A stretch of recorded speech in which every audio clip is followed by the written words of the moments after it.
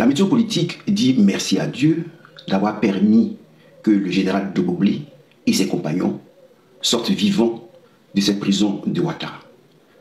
Mais la météo politique ivoirienne ne dit pas merci à Ouattara pour les raisons que je vais évoquer. Toute décision que prend Alassane Ouattara a pour but de conserver son pouvoir politique. Je lui dis à ces personnes qui viennent sous ma page pour me dire pourquoi je critique toujours Ouattara, même quand il pose de bonnes actions. Ces personnes sont encore dans une mentalité de pays sous-développé. Parce que dans des pays développés, la justice a son rôle et le président a son rôle. Alors ici, l'acte que pose Ouattara a pour but de conserver le pouvoir politique de manière malhonnête, a pour but de continuer de gouverner le pays dans l'impunité, de continuer de gouverner le pays dans l'injustice. C'est ce que vous devez comprendre. Alors je vous ai dit la dernière fois que la politique consiste face à l'adversaire à poser des pièges politiques, des équations politiques, des problèmes politiques. Et c'est à ce niveau que vous allez comprendre quel est le piège qui se pose derrière la grâce présidentielle accordée aux militaires qui ont combattu aux côtés du président Laurent Gbagbo. D'abord, il faut comprendre à quel moment Ouattara libère les prisonniers politiques. Il a une feuille de route. Au moment où il organise la Coupe d'Afrique, pendant que nous sommes tournés vers les stades, à nous réjouir avec nos joueurs, il casse les maisons des gens. Parce qu'il sait que ce sont des décisions qui ne plaisent pas au peuple. Mais ces gens sont restés dans l'oubli. Et voilà qu'il se continue de casser des maisons à Gesco, à Boribana et autres. Et tout de suite, il libère les prisonniers politiques. Dans quel but? Parce que la Coupe d'Afrique a été un vernis pour cacher les mauvais actes qu'il était en train de les mauvaises décisions qu'il a prises. On en parlera dans une prochaine vidéo. Aujourd'hui, la libération des prisonniers politiques a pour but de cacher les maisons brisées, les enfants dans la rue, à Gesco, à Boribana et autres. Donc, il se sert toujours d'un vernis politique, comme le disent les Français eux-mêmes, pour cacher l'injustice sous laquelle nous vivons, les décisions injustes qu'il prend. Donc, ici, il divise pour régner. Vous en parlez très souvent, mais ici, nous avons les faits. Quand on dit quelqu'un divise pour régner, Ouattara divise pour régner. Il prend les supporters des éléphants et il les oppose aux gens qui sont tristes, qui ont leur maison cassée. Il prend les familles aujourd'hui des militaires libérés et il les oppose aux gens qui sont tristes dans la rue. Pourquoi? Pendant que les gens sont en joie et que vous venez avec votre problème de maison, ils vont dire Ah, nous, on a attendu nos parents depuis 14 ans. Maintenant qu'ils sont libérés, laisse-nous fêter. Et ainsi, il divise la population et il règne comme un dictateur. Donc, diviser pour régner, c'est ce à quoi vous assistez. Le deuxième, élément, le deuxième élément politique et le gros piège politique qu'il pose est celui-là. Quand vous lui dites merci. Le président Laurent Gbagbo a été envoyé à la Cour pénale internationale par Alassane Ouattara, qui aujourd'hui gracie les prisonniers politiques, les militaires, les généraux comme Doboblé.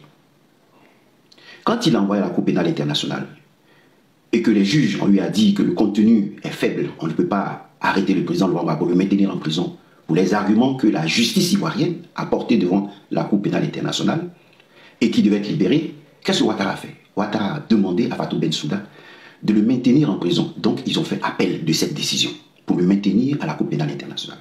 Ça veut dire qu'au début, Ouattara n'a pas l'intention de concéder la liberté à qui que ce soit. Le président Laurent Gbagbo vous a dit, ils m'ont écarté pour laisser Ouattara gouverner le pays. Mais malheureusement pour Ouattara, la justice là-bas a été dite. Ce n'est pas la grâce présidentielle qui a été accordée au président Laurent Gbagbo. C'est la justice qui a dit que le président Laurent Gbagbo retournait dans son pays avec tous ses droits. Et cela est très important avec tous ses droits. Normalement, si nous sommes dans un pays avec des mécanismes démocratiques qui se respectent, Ouattara devait se retirer et le président Laurent Gbagbo, qui a gagné les élections, devait gouverner. Cela n'a pas été fait. Donc comprenez ceci. Si Ouattara était si généreux pour concéder la grâce présidentielle à ses adversaires politiques, il devait d'abord le concéder, devait concéder cette grâce présidentielle au président Laurent Gbagbo. Il ne l'a pas fait. Le président Laurent Gbagbo retourne de Bruxelles avec tous les ados parce qu'il a un dossier juridique.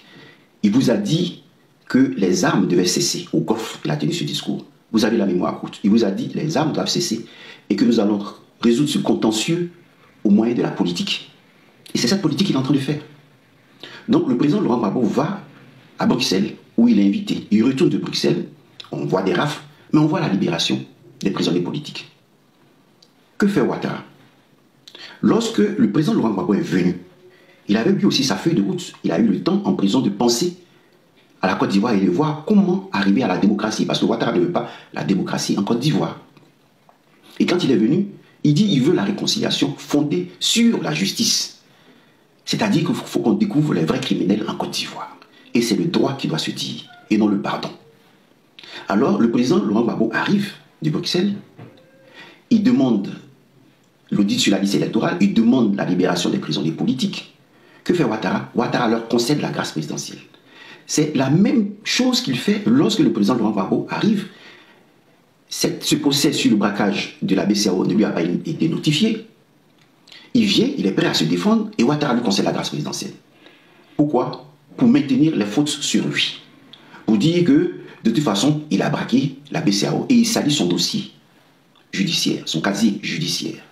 Parce que la grâce présidentielle ne t'ôte pas tes fautes. Oblige, t'oblige à porter tes fautes dans ton casier judiciaire. Or, c'est l'amnistie qui efface les fautes. Et donc, quand il arrive, qu'est-ce qu'il dit? Il dit Je veux que les prisonniers militaires soient libérés, Doboblé soient libérés, conformément au droit et non conformément à la grâce présidentielle. Et que fait Ouattara? Il leur concède la grâce présidentielle pour dire que les crimes dont ils sont accusés sont réels, alors que ces crimes peuvent être vus parce que ce n'est pas réel. Je vous l'ai démontré plusieurs fois ici. Les journalistes qui ont interrogé Yves Lamblin pouvaient sauver Yves Lamblin. Ce sont eux qui ont présenté au monde entier où était Yves Lamblin. Et donc, on peut dire même qu'à ce niveau, il y a non-assistance à personne en danger. Parce qu'ils ont dit qu'ils sont exposés. Et peu de temps après, Yves Lamblin est assassiné, on l'accuse de roubler. Donc Ouattara, voyant que le dossier du président Laurent Gbagbo avance face à l'AES qui fragilise la CDAO, eh bien, eux, défendant leurs intérêts, les Européens défendant leurs intérêts, sont obligés de collaborer autrement avec les Africains, de parler à la même table qu'eux, de ne pas décider comme à Berlin, pour la conférence de Berlin, à la place des Africains, les Africains doivent être à la même table. Lui, il concède la grâce présidentielle. Et disant aux militaires qui sortent, c'est moi qui vous ai libéré, alors que ce n'est pas Alassane Ouattara qui a libéré les militaires. C'est la victoire du président Laurent Gbagbo à la Cour pénale internationale qui impose à Ouattara la libération des prisonniers politiques et militaires. Il faut que cela se sache.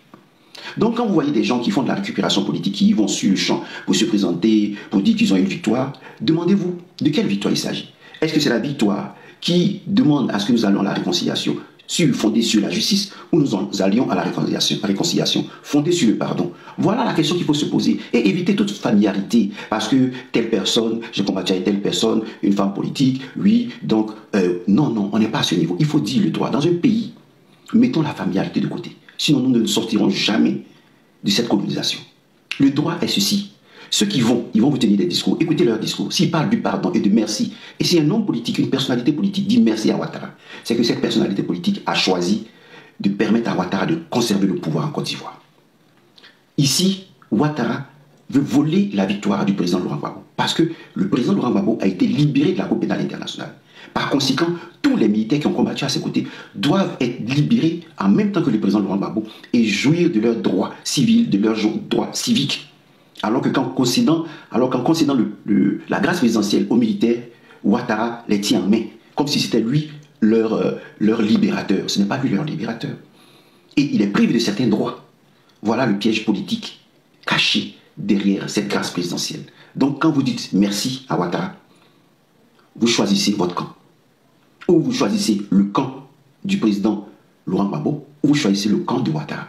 Mais Ouattara vient de nouveau de chercher à voler la victoire du président Laurent Gbagbo, comme il a volé la victoire aux élections de 2010-2011. Voilà ce qui se passe. Voici le piège politique qui est caché derrière la grâce présidentielle concédée à Doboblé et aux militaires